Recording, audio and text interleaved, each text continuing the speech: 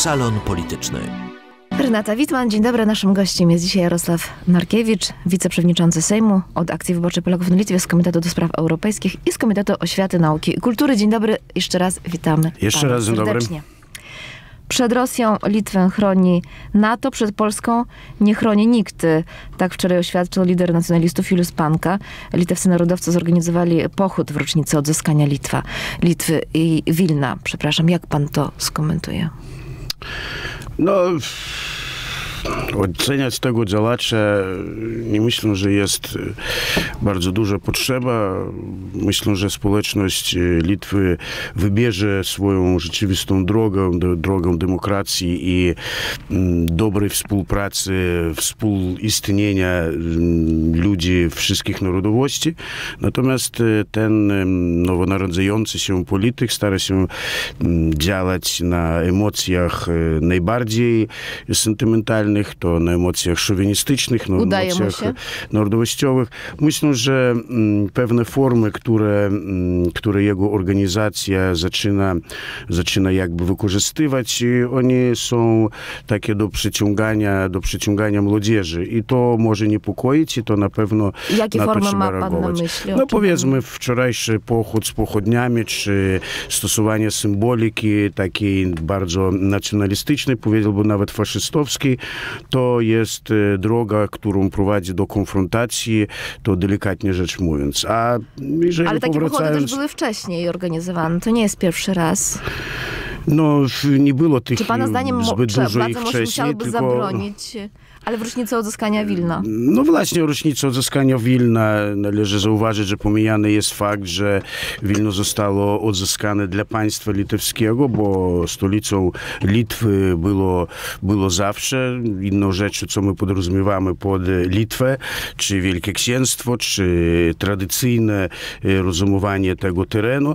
Odzyskanie Wilna też łączyło się jednocześnie z początkiem okupacji Właśnie sowieckiej to, i tego nie wspominają, to, nie podkreślają. Właśnie na to zwracam uwagę, że ten fakt jest pomijany i należy zauważyć, widocznie w naszym środowisku jak najbardziej to czynić, co właśnie skorzystam z okazji zwrócić uwagę, że właśnie Wilno dla państwa litewskiego, ówczesnego kowińskiego państwa litewskiego było wrócone po agresji na Polskę, po rozpoczęciu II wojny światowej, kiedy to faszyści, hitlerowcy z zachodu, a sowieccy, sowieccy z wschodu praktycznie zagarnęli Polskę i Litwa z tego widocznie wykorzystała, chociaż, chociaż historia mówi o tym, że boleśnie wykorzystali, czy bolesne były skutki, ponieważ niespełna, niespełna rok, mniej niż rok Litwa przestała istnieć jako państwo niezależne, a później nie uminęła także trudnych czasów wojennych. Czy nie trzeba byłoby zabronić tego rodzaju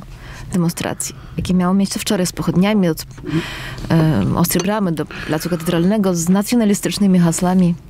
No, u nas w państwie i są stosowne ustawy, które przewidują zabranianie stosowania nazistowskich i prosowieckiej symboliki, i także działań, które by powodowały ku nie tylko antypaństwowości, ale do wzniecenia, wzniecenia niezgody międzynarodowej między międzynarodowościami. Między innymi jego hasło, jeżeli mówimy tak, bo przecież jest jest kandydat, kandydat nowo upieczony na, na mera. Myślę, że mieszkańcy ocenią, ocenią właśnie jego hasło, które tworzył, będzie na, opierało się na, że jak wcześniej Litwa dla Litwinów, to teraz litewskie Wilno.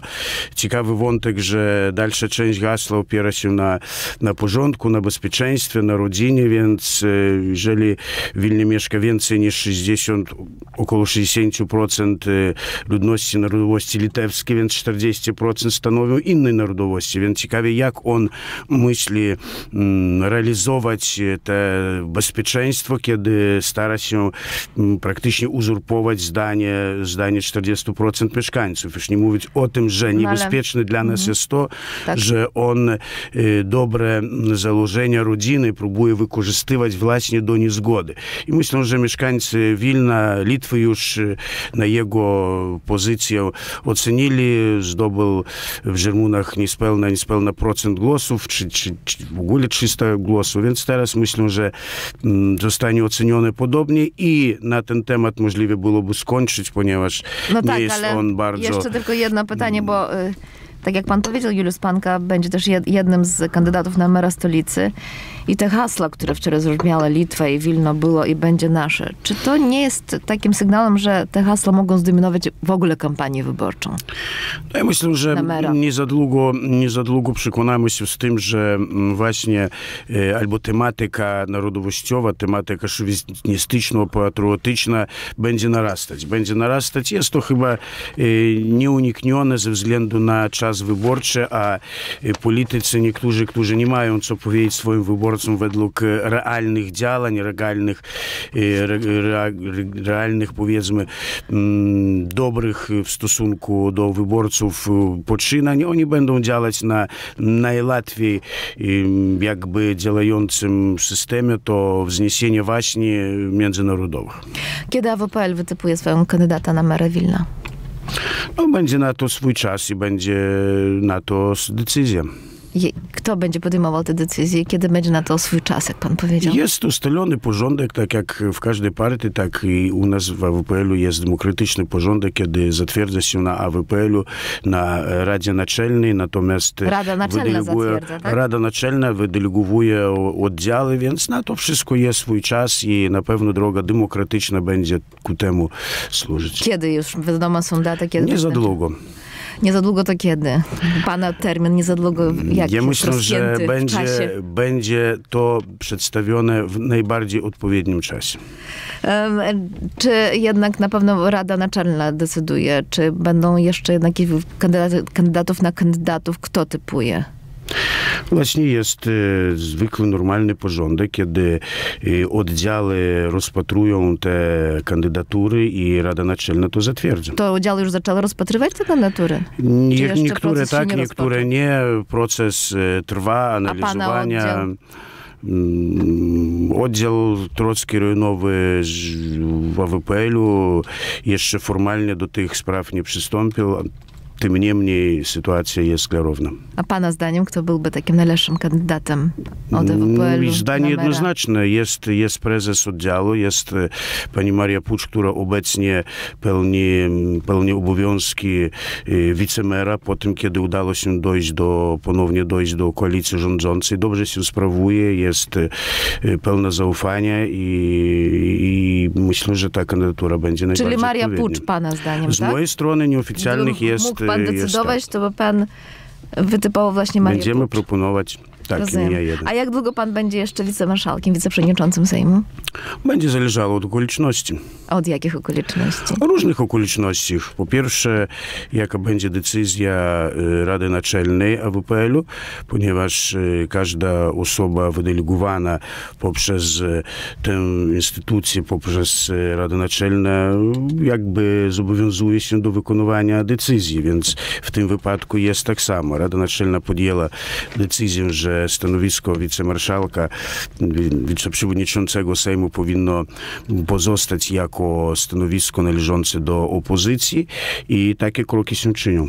Ale też opozycja wytypowała swego kandydata, Gentwilasa, proponują na stanowisko wiceprzewodniczącego. To nie wiem, czy wy jesteście w opozycji, czy nie. Czy były jakieś konsultacje w opozycji na temat, kto ma reprezentować opozycję w zarządzie i być wiceprzewodniczącym? Zawsze w każdej kadencji są pewne rozbieżności między tym, kto by chciał przedstawiać interesy, powiedzmy, opozycji. Tak w ubiegłej kadencji, powiedzmy, duża frakcja po porządku i Sprawiedliwości nie miała swojego wiceprzewodniczącego, chociaż frakcja socjaldemokratów miała dwóch. Także to zależy od tego, jakie są możliwości na utrzymanie tego, tej, tej pozycji od, od opozycji. Mówiąc od opozycji, to należy zauważyć, że obecnie, obecnie konserwatyści mają dwie jakby pozycje w zarządzie, ponieważ zarząd tworzy tworzą właśnie wiceprzewodniczący i przewodniczący oraz przedstawiciele, przedstawiciele opozycji. Lider opozycji, tak, tak lider czyli opozycji, czyli Kubitlus i Degutenia, tak. Także mogą dzielić się z tym z liberalami, którzy chcą jakby uzyskać te pozycje. No należy zauważyć, że Ausztrawiczusa pozycja właśnie była jako siódmego wicemarszałka wprowadzona po to i na czas, aby kiedy Litwa przewodniczy Unii Europejskiej, Radzie Unii Europejskiej. Więc to odbyło się i praktycznie gdyby nie został wybrany, możliwie by i został, ale funkcje, które spełniał Ausztrawicz, są nie znikły, ponieważ przewodnictwo już się dobiegło końca. To, to czy, czy pan będzie nadal wicemarszałkiem, wiceprzewodniczącym Sejmu, czy to będzie zależało bardziej od decyzji Rady Naczelnej WPL-u, czy jednak od tego, jak w Sejmie zostaną uzgodnione stanowiska?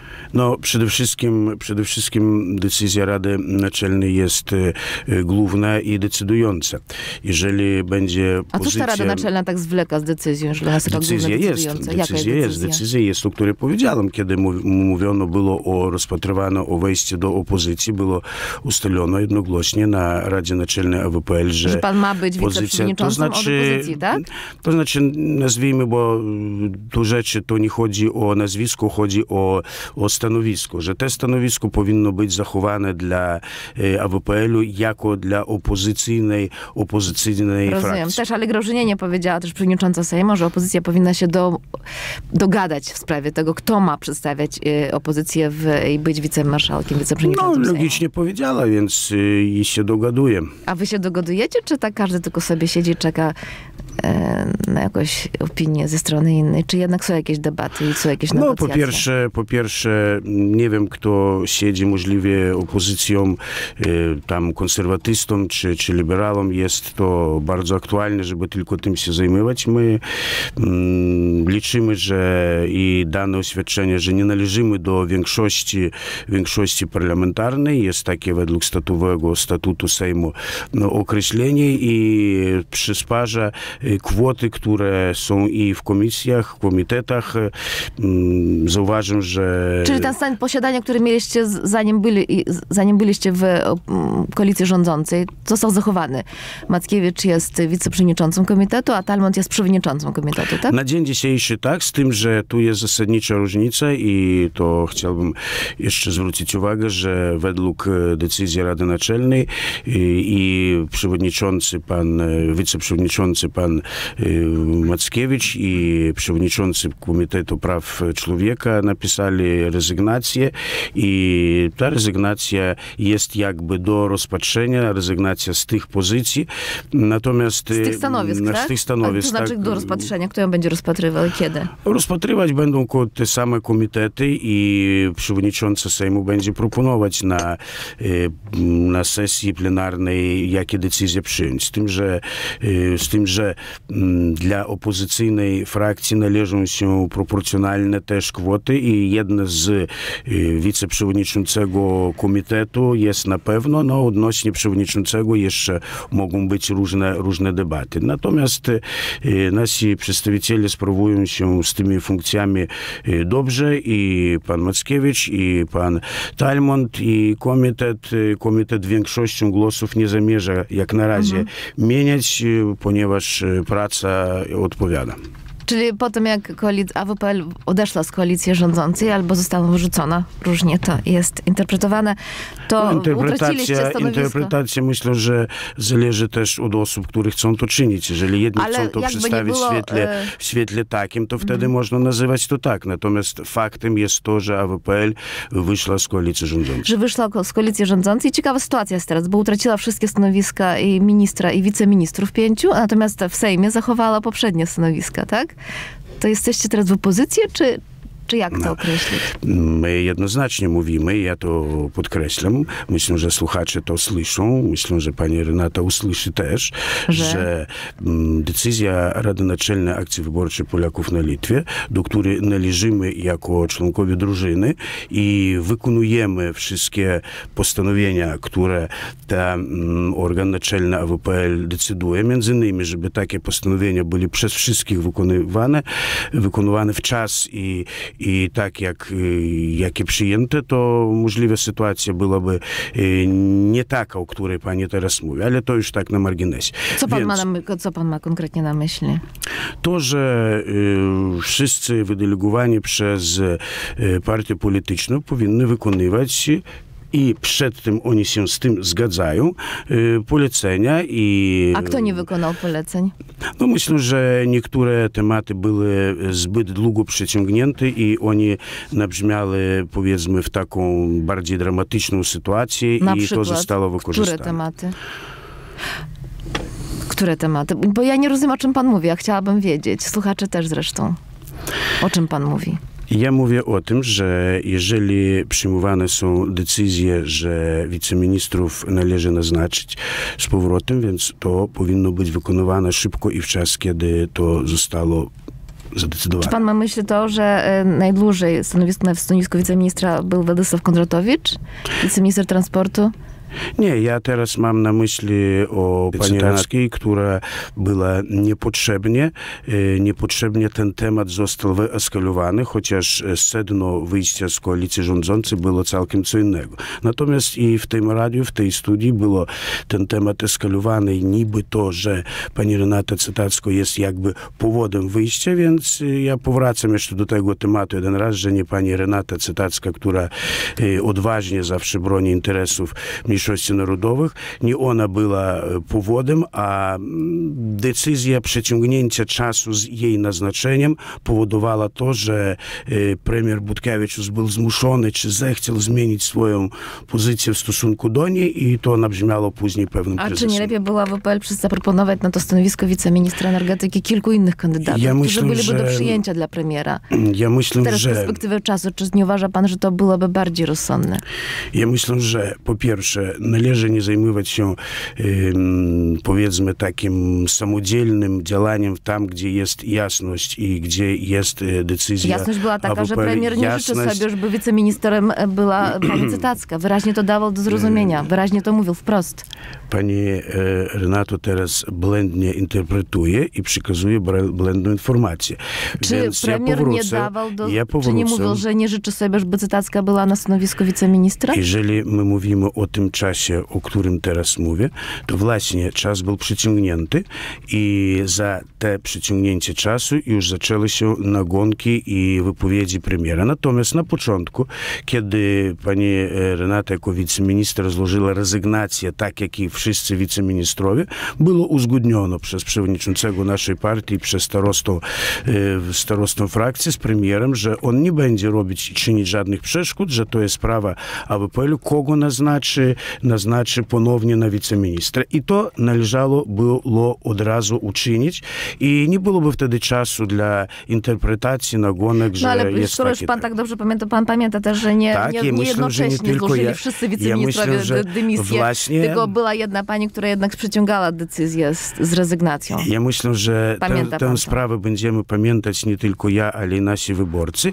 I udokładnię jeszcze jeden szczegół, że e, pani Renata złożyła w czas rezygnację. Inną rzecz, że jeszcze jeden dzień było zwlekania, dlatego że nie było znów dla niej powiedziane, że decyzja AWPL odnośnie jej ponownym naznaczeniu będzie realizowana. I to czyni, kiedy przedstawiciel wydelegowany przez AWPL doprowadza do komplikacji sytuacji. Czy zdał AWPL egzamin ze współrządzenia państwie, z bycia w koalicji rządzącej? Pan jako były nauczyciel, jaki by stopień postawił w tym systemie dziesięciostopniowym? Ja myślę, że oceniać, oceniać będą nasi wyborcy.